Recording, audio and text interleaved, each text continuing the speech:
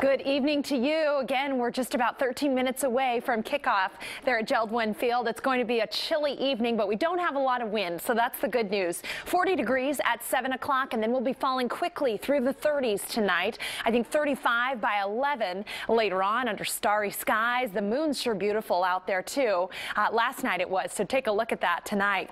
Tomorrow morning, the only concern, patchy fog and freezing fog early on, so look out for that in your morning commute. You might run into it. Some of us won't. Other than that, lots of sunshine tomorrow. 50 degrees by noontime, and then we'll be falling back through the 40s again tomorrow night. 46 degrees at 5 o'clock. Had to show you this time-lapse look at all of the sailboats out in front of Salty's on the Columbia. You're looking at the Interstate Bridge off in the distance.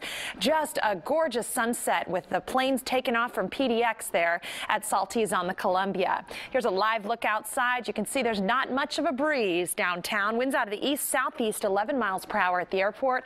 44 degrees there. Our high today was right on target for average 50 degrees in Portland. Why we felt chillier is those overnight lows. The average overnight low this time of year 39 degrees for Portland and last night we hit 29 so uh, about 10 degrees below where we typically are during the night hours. East of the Cascades today your highs in the 40s 30s for Pendleton 38 was all we could do there and the east winds believe it or not are starting to calm down. Yesterday we had gusts of 74 miles per hour at Crown Point. Today, 68 miles per hour. And all of these peak gusts were earlier on today before noontime. High pressure continues to dominate our map here. So I'll show you what that means for the next 24 hours. Not a lot. Here's tomorrow morning at 8 a.m. Maybe some patchy fog in the valley and east of the Cascades. Other than that, lots of sunshine. Then some more clouds start to creep into our skies. This is 7 a.m. on Tuesday. So we'll wake up to more clouds than we've seen in uh, about a week or so. And then as the day wears on, our model indicating the potential for a few showers out at the coast, even inland by mid-afternoon. But our atmosphere is so dry, there's a decent chance we won't see any rain at all. But I have to mention it, so just look out for a few showers Tuesday afternoon and into Tuesday evening. Partly cloudy skies on Wednesday. You can see a few clouds around, but dry for all of your Thanksgiving travel.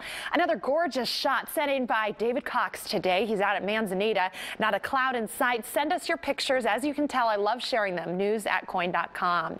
Here's your forecast for tomorrow. A gorgeous day out along the coast. Mostly sunny skies. I-5 corridor. Just look out for that patchy fog and freezing fog. Could be slick if it does develop. So uh, watch your morning show tomorrow to see how that comes along. Patchy freezing fog east of the Cascades and an air stagnation advisory. Lots of sun through the gorge and over the Cascades. Still a little breezy at the western mouth of the gorge, but nothing compared to what we've seen this weekend. Clouds on the increase Tuesday, partly cloudy Wednesday. Thanksgiving looks partly cloudy cloudy, 53 degrees. Can't beat that. And you'll notice the overnight lows because of the clouds are a little bit more mild than, you know, the chilly nights that uh-huh. we've had uh, this weekend. So we're talking upper 30s instead of upper 20s. And we are looking at the beginning of next week. It looks chilly and it looks like we'll have precipitation. So we're talking about low snow levels then, or at least it looks like that now.